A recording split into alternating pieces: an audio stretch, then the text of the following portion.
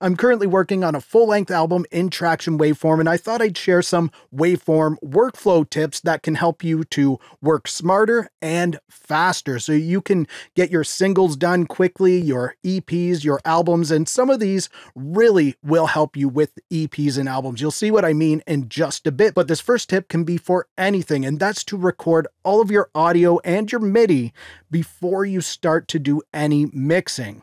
You can adjust levels and maybe even some panning, but don't start adding your compressors and EQs or anything like that. Just record all of your audio and MIDI in first, and it's going to sound not that great. You can turn your tracks all the way down or mute them if they're kind of in the way while you're recording. You want to get all of that raw audio and your MIDI in there before you start adding plugins. And there's a couple of reasons for this.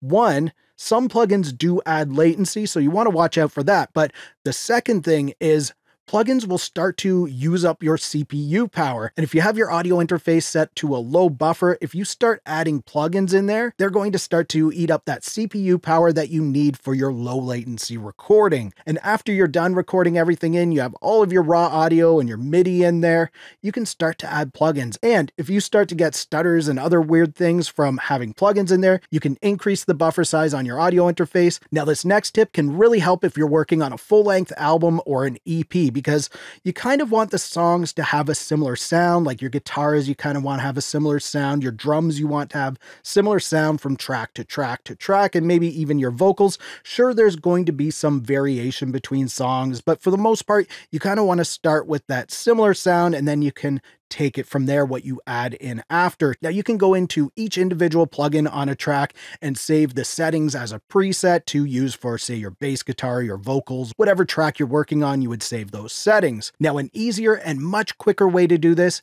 is to save entire plugin chains, and I'll show you what I mean. So you can see on my guitar bus here, I have all of these plugins loaded. Now, if I was to go into each individual plugin and save my settings as a preset, that's going to take a lot of time just for this one track because there's a ton of plugins just right there. Now, what I can do is hold down the shift key on my computer keyboard and then click on each plugin in here. And you can even do this with your pan and level plugin in waveform. So you want to click on that because you can save those levels. If you record your guitar at the same level every time, you might as well save those levels because chances are they will work in the next track. Of course, you can adjust those later. So now we have everything selected. You can see they're all highlighted in there. Let's right click on it. And then we want to go to save selected plugins as a preset then you can just give it a name in here and save it. Make sure it's something that you can remember. Now I've already done this, so I'll show you the next step. So now the way to load it is I have the side browser closed down right now. I just want to go up to the eyeball there, click on that, and then click on this right here. It's going to open up the browser. And for this plugin chain preset, I remember I named it something with final in there. So I just enter final and then I can see in here what I have. I have a bunch in here with final. I just want to find my guitar bus. So there it is. I just click and drag it over to the track.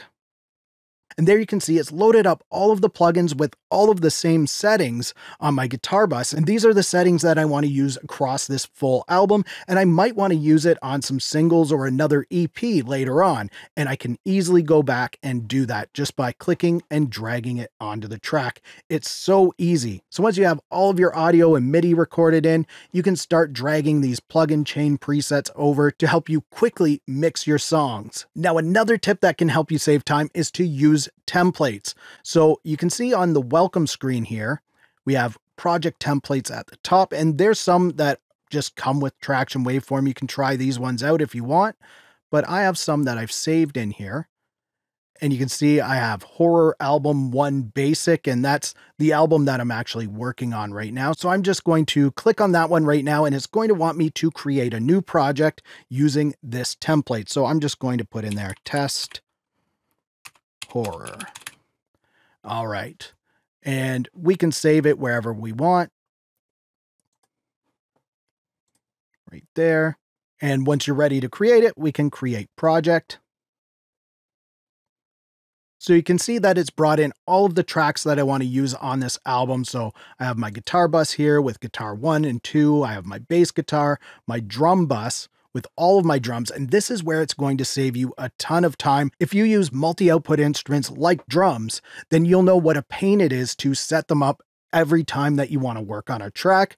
This way, you can actually save a template that's just those drums. Maybe you have drums set up for rock music, and then another multi output drum set set up for indie music or lo-fi, something like that, you can save each template that has those drums already set up. And of course, you can change things around if you want. Now, how do you save a template? And you can have a completed song in here with all your audio tracks and everything, and we can still save a template. You would just go down to File, and then you want to go to Save Edit as Template. And you can see in here, we can name it whatever we want, and we can even give it a description. And you want to uncheck this include clips. Now, you can include any audio clips that you want. Maybe there's some audio clips that you want to use from track to track to track. You can keep those in there if you want. Just make sure you check that. But if you don't want those audio clips in there, be sure to uncheck the include clips and it's just going to save the basic layout like this and it will save those plugins. So if you don't want to start with all these plugins in here, you can go in and save the template again as whatever you called it, bare or whatever you want to do. It's up to you what you call it. But using templates can be a huge time saver and it's also kind of motivation. You can see, all right, I got to do my guitars, my bass, my drums, my lead vocals, vocal double, whatever you see in there, it gives you that map of what you need to record. Now, this next tip is going to help to keep you organized in Tracktion Waveform, and that's to use folders. So if you go to your projects tab, and this is the page I actually have Tracktion Waveform set to open when I load it up, what you'll see is all of your projects listed down here. And if you're like me, you might have different bands or projects that you work under a different name for. You want to keep all of that organized so you can go back and quickly load things up if you need to mix them or work on them some more. And you don't want to have to go through this huge list like I have right here. So you can see at the top here, I have Silver Rocket Surfers. So that's the main project that I've been working on right now. And you can see in here, I have EP1. So that was my first EP. I have singles that I'll work on. And you can expand these.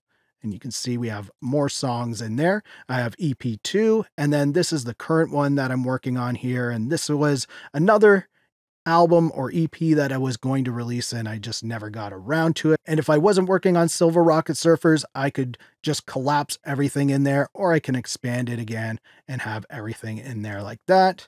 And I have other folders in here and you can have folders within folders. Like you saw, I have this folder, which is the EP1 and the other folders that are all within this Silver Rocket Surfers folder. Now, how do we create a folder? Very easy. You go down here to create folder and let's just name this new test. Open that up. You can see at the top, I have a new folder called new test. Now, if I had projects that I wanted to put in there, I could just drag them in there. We'll say, look, I have this one here called new test.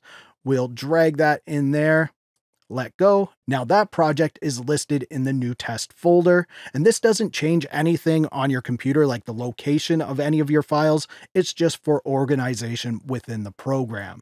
And if I don't want new tests in this folder anymore, I can just quickly drag and drop it down in here. Now, another useful tip that you can use for singles, EPs, albums, anything like that, and you should use this all the time, is to save separate edits for every revision of a song that you do. And what I mean by this is you can have your song already mixed and ready to render so you can master it or listen to it in your car or in your earbuds on your phone, wherever it is you want to listen to it and test it out. You can easily render that edit, go test it out, and maybe you hear some things that you want to tweak. Maybe the kick drum's a little too low or the snare's too low, something like that.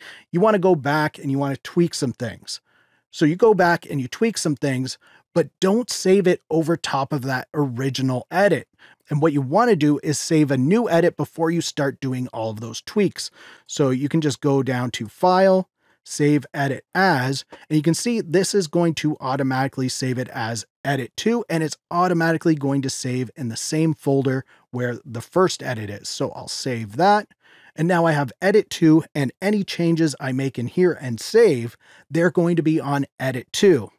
And you can keep doing this, edit three, four, five, whatever. And the reason why you want to do this is because when we're working on these songs and we're listening to them over and over, and we go and bring them to our car or to other headphones or whatever else we bring them to, our ears are probably fatigued and you might start to overmix things.